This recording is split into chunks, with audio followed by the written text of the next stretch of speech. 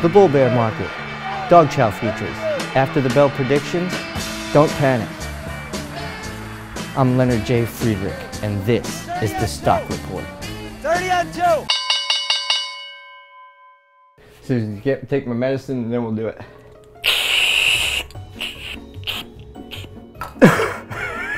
this is the Chris jo the, the Chris Johanson series. There we go. There we go. All right. All right. We got boards. There we go. Magic. Magic. Magic. Magic is frustrating. Magic. There we go.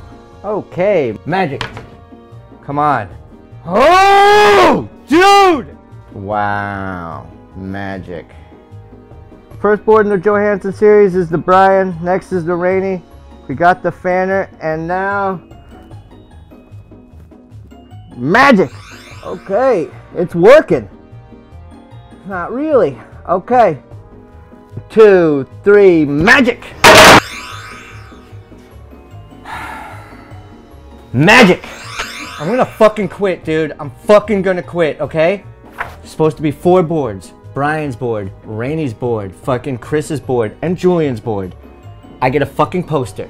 And magic. We do have a shirt, so yeah. Hmm.